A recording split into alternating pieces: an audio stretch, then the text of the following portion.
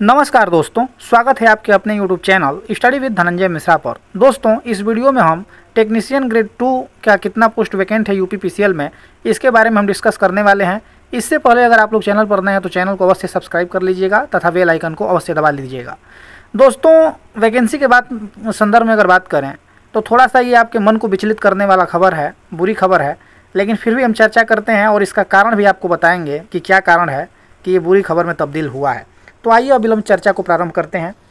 देखिए यहाँ पर जेई का भी हमने बताया था कि 403 टोटल जो है कि इलेक्ट्रिकल का और मैकेनिकल का खाली है और 18 सीट जो है कि जनपदीय अभियंत्रण का खाली है। अब बात करते हैं यूपी पी एल टी में।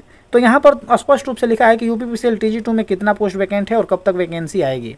तो इसका जवाब दिया गया है प्रत्युत्तर के रूप में। दिनांक एक जुलाई 2024 की स्थिति के अनुसार Uttar Pradesh power corporation limited में टेक्नीशियन विद्युत के रिक्त पदों की संख्या शून्य है। एवं अन्य सूचना, उत्तर प्रदेश सूचना अधिकार अधिनियम 2015 के नियम फोर, कोष्टक में आप लिख मतलब ये स्पष्ट रूप से लिखा गया है। तो यहाँ पर यूपी पीसीएल में जो टी की रिक्त पदों की बात की गई है, आयोग के द्वारा इसका जवाब शून्य बताया गया है। देखिए, शून्य सीट है नहीं, ऐसा नहीं है कि सीट खाली नहीं है, सीट बहुत खाली है।